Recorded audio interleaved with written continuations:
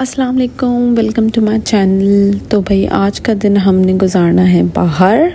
तो हस्बैंड के जाने के बाद मैं चली गई अपनी स्कूल की फ्रेंड के पास। ये था मेरा आज का फ़िट और फिट जो है वो फ़िट होना चाहिए। मतलब कि वो कंफर्टेबल होना चाहिए। और जो मेरा टेलर है पाकिस्तान में, वो ज़बरदस्त कपड़े सीता है, उसको बोलने की ज़रूरत नहीं पड़ती। अल्हम्दुलिल्लाह। तो जनाब, फिर मैं सारे काम किए, बच्चों को तैयार किया, एक को सुला दिया तैयार करके, एक को जो है वो कुछ खिला दिया, फिर मैं तैयार हुई, फिर उसके बाद मैंने चाय पी, वो अपना ड्राइवर वहाँ से भेज रही थी और बस मैं ड्राइवर का वेट कर रही थी, इतने में मैंने सोचा कि मैं बस चाय वाय पी लूँ थोड़ा सा बस तैयार होकर निकल गए, मैंने अबाया पहन लिया, क्योंकि बाहर जाते हुए मैं अक्सर अबाया पहन लेती हूँ।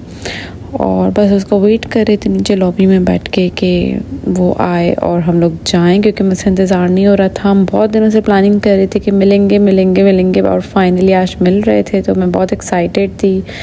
क्योंकि स्कूल की फ्रेंड से मिलना तो सबको ही पसंद होता है और इतने सालों बाद हम लोग इतनी बार मिल रहे हैं तो ये मैं अपने आप को फॉर्चुनेट समझती हूँ, अलहमदिल्ला। सो बस ये वो आ गया था और वो पूछ रहा था कि आप कहाँ हैं तो मैं उसको वीडियो बना के भेज रही थी, वो वीडियो भी मैंने यहाँ अपलोड कर दी।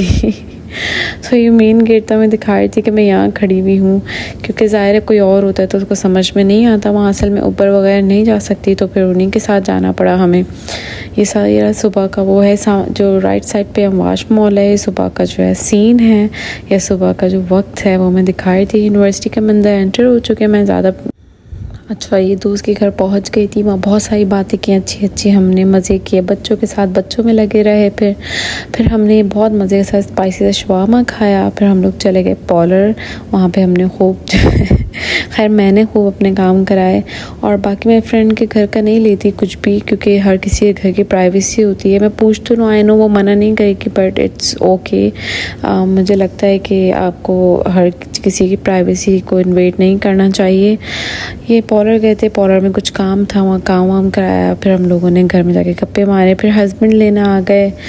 तो बस इसी तरीके से बड़े मज़े का दिन गुजरा। यहाँ पे हम लोगों ने चाय पी, बैठ के दो चार बातें कर ली और स्कूल फ्रेंड के साथ तो पता ही नहीं चलता टाइम कब और कैसे गुजर गया। फिर इन हम दोबारा मिलेंगे हस्बैंड लेने आ गए थे। उनको बहुत ज़्यादा भूख लग रही थी क्योंकि हमारा होटल का खाने का टाइम निकल गया था। तो बस फिर हमने यहाँ खाना खाया और घर वापस चले गए। आई होप आपको मेरा आज का ब्लॉग बहुत अच्छा लगा होगा। अगर पसंद आए तो लाइक सब्सक्राइब और शेयर कर दें। ये समझे मेरा था एक मिनी व्लॉग। आई होप आपको पसंद आया होगा। अल्लाह हाफिज़। Bye bye